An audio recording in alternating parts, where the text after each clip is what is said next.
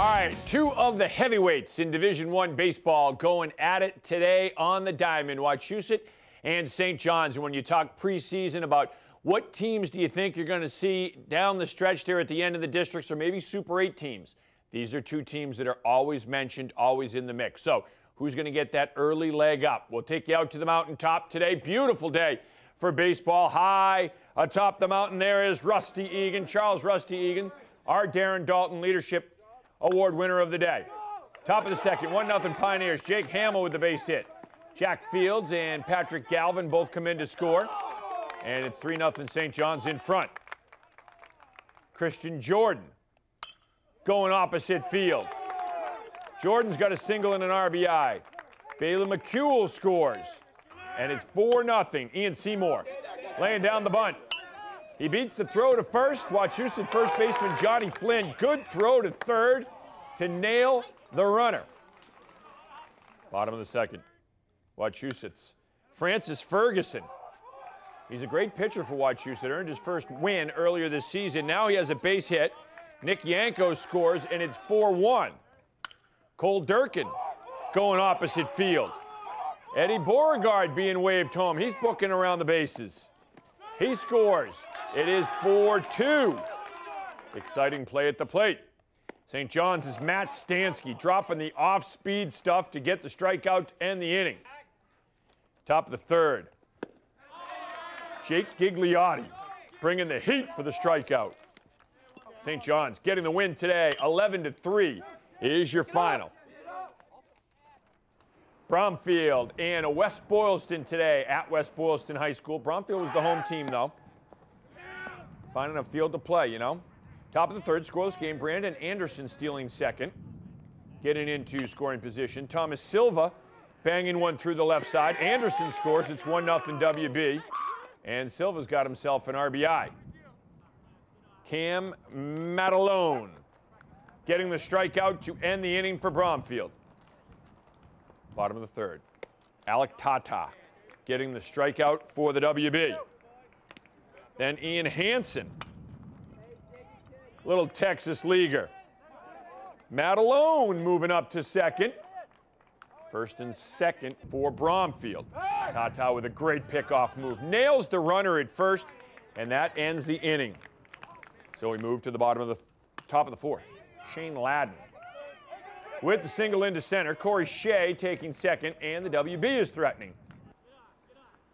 Sharp liner to short. Lance Giraz makes the grab for one, steps on second for the inning ending double play. West Boylston gets the win in their opener. 9 to 1 is your final this afternoon. Burncoat and Doherty. Softball. Doherty, of course, the defending district champs, made it all the way to the state finals. Bottom of the first, Peyton Sylvester lifts one into shallow right. It's a Texas leaguer. Natalie Barrera scores. 1 0 Doherty in front. Nicolette Jenkos singles to left center. The family name, synonymous with athletic excellence at Doherty. Nikki Soretti scores 2 0 Highlanders. Emma Brennan, that's right, Luke Brennan's younger sister. She singles through the left side. Sylvester scores 3 0 Doherty. It is a who's who of Doherty athletic history out there on the diamond. Beautiful play by Danny Ellis Garcia at third to grab the dribbler, win the foot race to third, and get the out.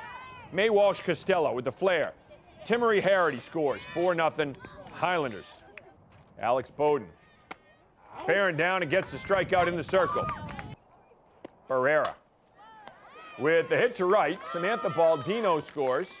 Walsh Costello scoring as well. 6 0 Doherty. And they're not done. Soretti, laser. Gianna Goggins scores. Barrera scores as well and Doherty gets the win. 14 to nothing is your final. Two years ago, Auburn had a JV boys lacrosse team that was funded by the parents and the players themselves.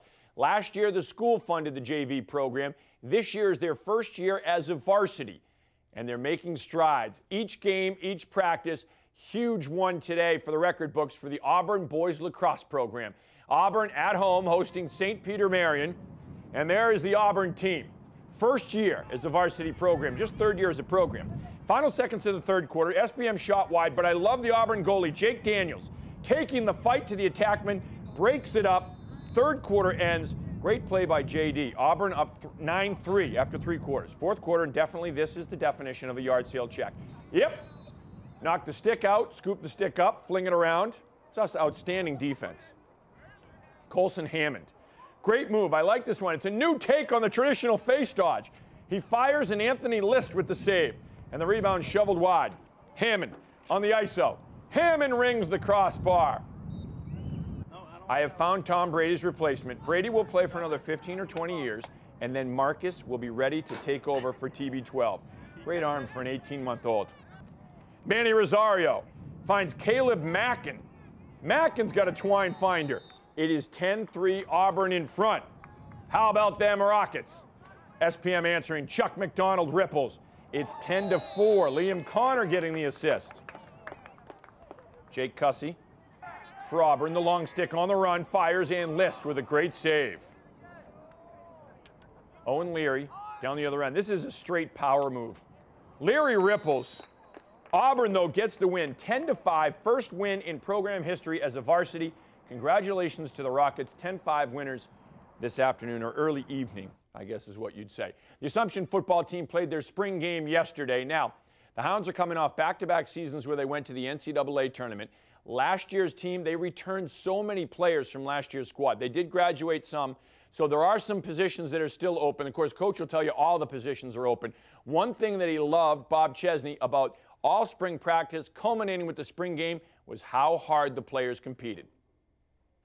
Well, I think we, we have a lot of voids to fill, and you know the compete part was what I love about this spring. We have competed at such a different level than we have, you know, at, at any other, other, any other point. You were at one of those practices and you saw the how, how that thing turned out, and, and I'm just very impressed with how hard we're going to compete. But there, it's because there's positions that are open, so these guys are fighting for those positions, and that's what this this makes you know makes any good team you know really really good. So that's what we have to just be able to continue to do is just compete. And and today I felt you know kind of was along the same lines. It, it, it lacked a little bit in my my mind, but at the same time, I was proud of the way these guys came out here and fought. Well, again, just a, uh, a tribute, a tip of the hat to Coach Chesney and the entire Assumption football team, the great work that they have done with Jan and the Team Impact program, and then getting Jan's family the, the new car as well. A phenomenal job. The, the game really secondary to the impact that they're having on Jan's family. Uh, and that team itself is going to be phenomenal. Bob Chesney and his staff, just an outstanding coaching staff. But really, they, they have it all in perspective. They care a lot more about the people than they do the X's and O's, the player. And that's, in today's day and age, that's great. It's unique in college football. And uh, there's a reason why they're winning the way they are. And, and it starts with just how much they care for their players and the community in general. I'm sure it had a huge impact on that little boy, too. Oh, it certainly story. did. And, and it has the entire time that they've been affiliated with him. You go out in the fall, Jan will be at practice. He'll be there at some of the spring practices. Uh, they just, Coach Chesney and his entire team and staff do a phenomenal job with Jan. It's a great story. For Kevin Shea, I'm Catherine Andrioli. Thanks for watching Worcester News tonight. Have a great night.